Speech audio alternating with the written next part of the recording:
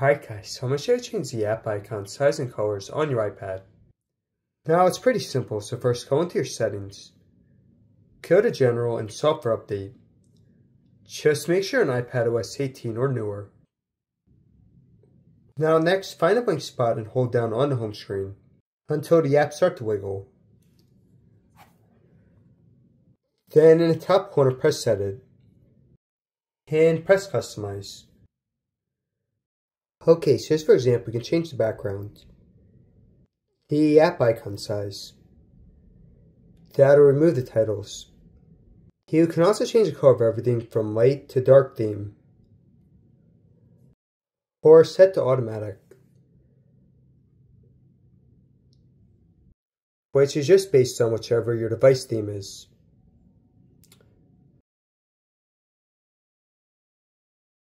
Now you also have tinted. With this you can change the color of everything.